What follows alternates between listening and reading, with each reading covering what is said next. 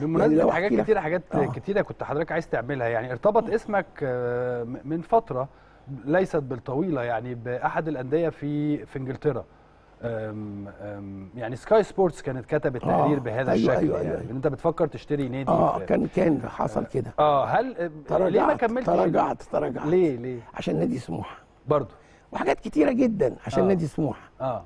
رفضت هذا الكلام مم. وشركه إنجليزية كبيرة قوي حبت تعمل استثمار في مصر وإن تدخل معايا في إنها تعمل أندية في مصر آه. بعد الموضوع ده بعد ما أنا كنت هشتري نادي في إنجلترا. آه آه وكانت عايزة تعمل الموضوع ده وكان معروض جذاب جدا وفي مكاسب كبيرة قوي قوي قوي مم. لكن أنا ما قدرتش عشان خاطر نادي سموحه طالما أنت ما تقدرش تحارب بروحين.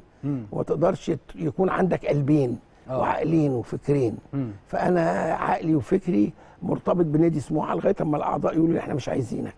آه لكن أنا بحب نادي سموحة وبقاتل عشان نادي سموحة. بقاتل. مم. يعني خدت بقاتل آه. من أجل مصلحة سموحة. القتال يعني؟ لا ب... باحترام. وب... طبعاً. لا أنا راجل بحترم القانون وبحترم اللوائح وبحترم النظم وبحترم بلدي.